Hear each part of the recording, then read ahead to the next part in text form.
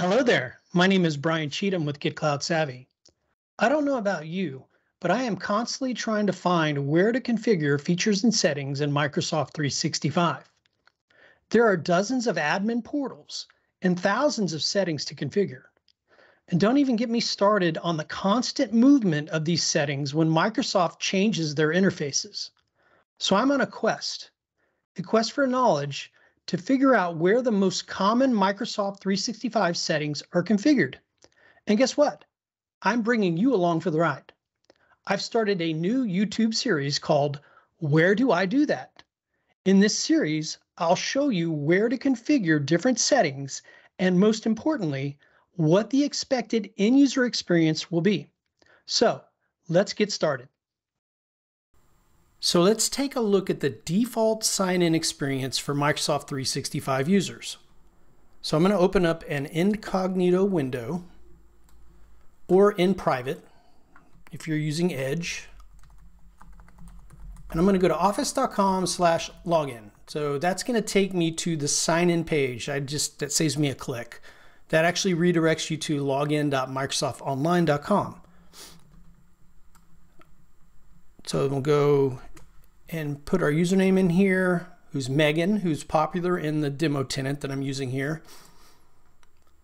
And notice how I have the default sign-in experience. The logo is the default Microsoft logo. The background is default.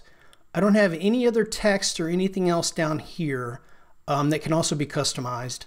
Uh, terms of use, uh, privacy and cookies, all this stuff is the default settings. So let's sign in. And this is important because on May 8th of this year, Microsoft is going to require that you use number matching. Okay, so this is what this is called number matching with Microsoft Authenticator. So I proved that on my phone and I'm signed in. So default experience, I don't have any customization whatsoever. So now let's take a look at the customized experience. So let's launch an incognito window. We'll do the same thing. We're going to go to office.com slash, use sign in this time. That will redirect me to login.microsoftonline.com. I'm going to sign in as Megan, the same user from before. And notice how the background has changed.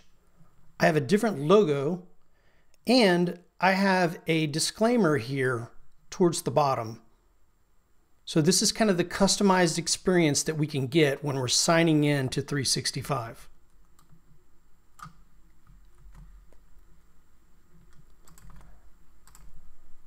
And then also notice how when I get redirected for my multi-factor that it's doing number matching, but it's doing the customized experience for number matching users still know that they're logging in to my tenant. And finally, I'm signed in. At the very top, I have the customized experience for Microsoft 365 within the Microsoft 365 dashboard. I can also go to another app, another web app, and I'll see the customized experience here as well. So when I'm done as a user and I'm ready to sign out, I also see the customize experience. So notice I've got the logo here and I've also got the background. So that is the customize experience. So now let's take a look at what it takes to configure this customized experience. So where would I do that? Where do I actually customize the sign-in experience for Microsoft 365? So let's launch the Microsoft 365 Admin Center. I'm signed in as a global admin to the Microsoft 365 Admin Center. So the first thing I'm going to do is I'm going to set the logo here at the top, this top header here. So I'm going to go show all.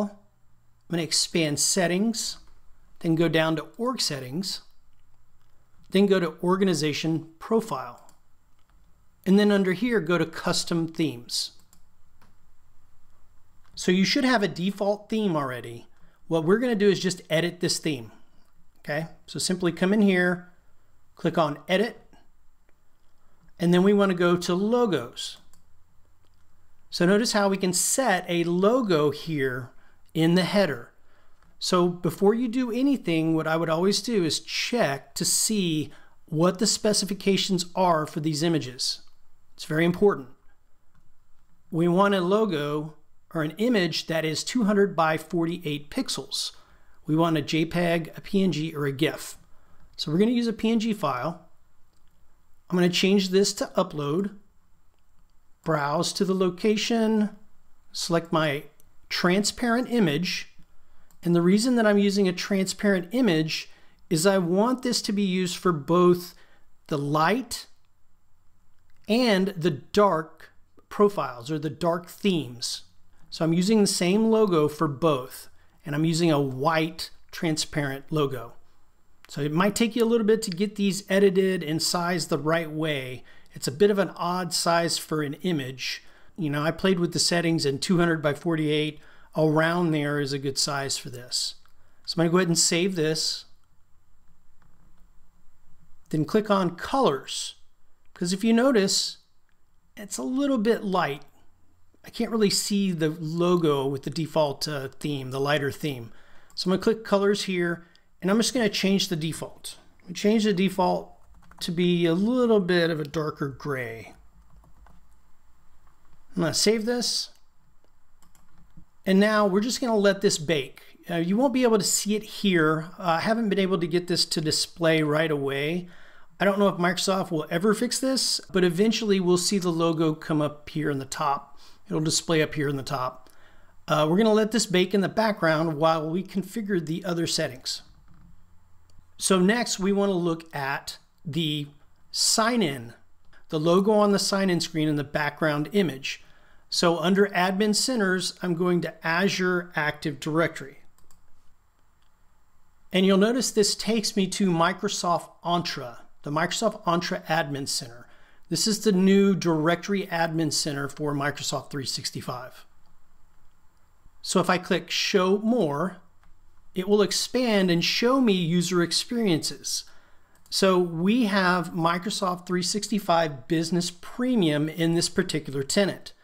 It has Azure AD Premium Plan 1, which includes the ability for you to see this company branding area here. Be mindful of the licensing that you have because you do need Azure AD Premium Plan 1 or Plan 2 for this setting.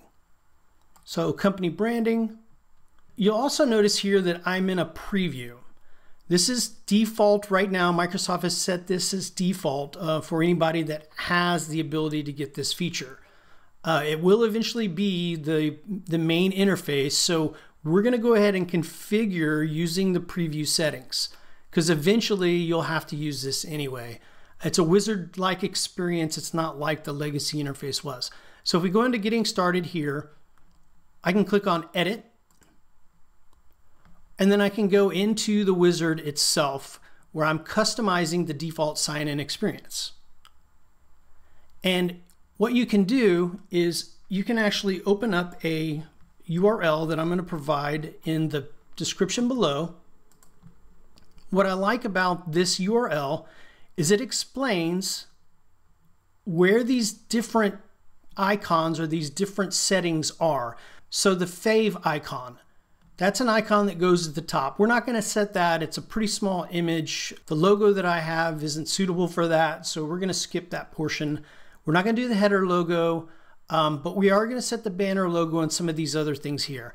I just wanted you to see this URL so where you can get this can kind of guide you through this experience, okay? So I'm going to minimize this. And then what I want to set is I want to set the background image. So this is going to be the image in the background of the sign-in screen.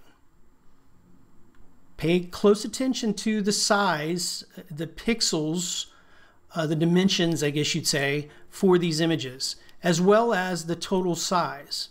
Microsoft will limit you. Image size recommended is 1920 by 1080. Max file size is 300 KB. So we're going to move on to layout. This is all default. There's nothing that we're going to change here. We're not setting a header. We don't want to do anything in the header area. Nothing in the footer, but I could change. Remember we looked at the terms of use and the privacy and cookies? I could change the display text there or the URL that it points to. So if you have something custom for your organization, you can set that here. Move on to the sign-in form, and we're going to set all of these images. So for the banner logo, image size 280 by 60, browse to the location. I'm going to use the transparent color image that I have. And don't worry about it displaying this way in the interface. I think this is just a bug that Microsoft needs to fix in the way that this is displayed. It'll look right on the sign-in form. And then let's go to Square logo. We'll set that. And then finally, we will set the darker theme. So this one's important because this is what will show whenever we use like autopilot or something like that. So when we use Windows Autopilot, that out-of-box experience will actually display this logo for our users. And then finally, I want to set the sign-in page text. Go to Review, and I can review all my settings here, and then click Save. So how do we know that this worked? So we want to allow about 10 to 15 minutes uh, for this to bake in the background before we sign in again as a user to check our settings. So we're going to wait 10, 15 minutes and we'll be right back. All right, it's been about 10, 15 minutes. So let's go ahead and launch our incognito window. And let's check our customized experience. So we're signing in as Megan again into the same tenant. Notice we have a background and we have a logo as well as disclaimer text. Specify the password, and now we should also see the experience, the customized experience for our number match.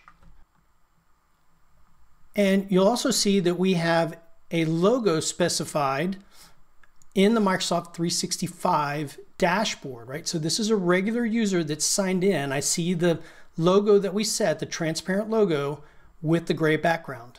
If I go into any of the other web apps, I'll also see that same experience at the top. So that's all there is to it. You just customized your Microsoft 365 sign-in experience.